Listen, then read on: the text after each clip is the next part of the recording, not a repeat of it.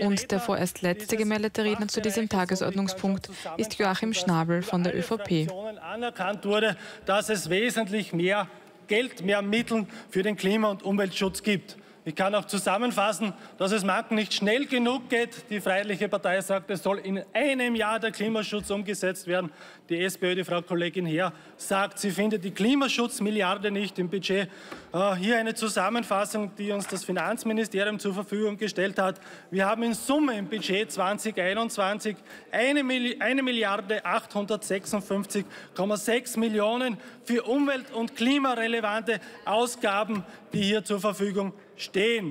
Und weil der Herr Kollege Hafenegger sagt, die Freiheit, äh, die, äh, wir tun von Seiten der ÖVP nicht danken den grünen Ministerinnen und Ministern, dann sage ich hier eingangs ein herzliches Danke auch von meiner Seite, weil mit ihrem Engagement und ihrem Einsatz ist vor allem was den Bereich den Schienenausbau betrifft, hier ganz, ganz viel Elan dahinter. Danke auch namens meiner Region für die Weiterführung der des Korm-Ausbaus, aber auch neu für die Elektrifizierung der Graz-Köflachbahn und das nun im ÖBB-Rahmenplan der Ausbau, der zweigleisige Ausbau der Südbahn bis zur Staatsgrenze nach Slowenien mittels Planung und Projekt, Projektierung vorangetrieben wird. Und der Herr Kollege Rauch hat gesagt, die ÖVP verhindert jegliche Klimaschutzmaßnahme und vor allem auch das 1-2-3-Ticket verhindern wir dann will ich doch bitten, nach Oberösterreich zu schauen, zum Herrn Verkehrslandesrat Steinkellner aus Ihrer Partei, der sich auch hier sehr kritisch und dagegen äußert. Machen Sie dort Ihre Haufausgaben und überzeugen Sie Ihren Verkehrslandesrat, dass er hier mit dabei ist und vielleicht als First Mover hier mit an Bord ist.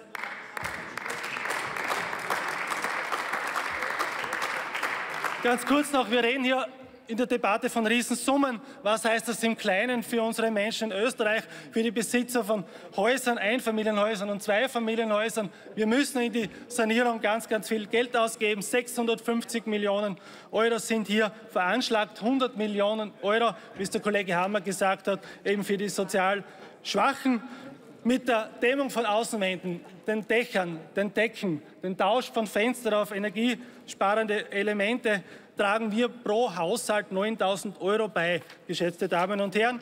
Die Raus aus Öl-Aktion von der Bundesministerin Köstinger ins Leben gerufen hat, mittlerweile 14.000 Haushalte in Anspruch genommen. Und hier sind sehr, sehr viele Mittel, 142 Millionen im nächsten Jahr und im Budgetpfad weitere 200 Millionen dann pro Jahr veranschlagt, damit man raus aus diesen Ölheizungen kommt.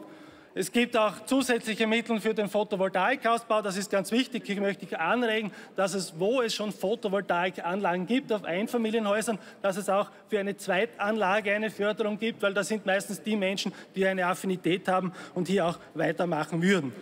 Mit der Förderung der Elektromobilität und der Speicherung kann somit jeder Haushalt in der Höhe von 20.000 Euro hier Bundesförderung, die noch von Ländern und Gemeinden aufgestockt werden, profitieren. Und wer hier investiert, investiert doppelt und hilft doppelt in den Klimaschutz, aber auch in die regionale Wirtschaft, weil hier sind regionale Betriebe tätig, die mit ihren Arbeitsplätzen und ihren Mitarbeitern von Ort ganz einfach die Leistung erbringen und somit die Regionen stärken. Vielen Dank.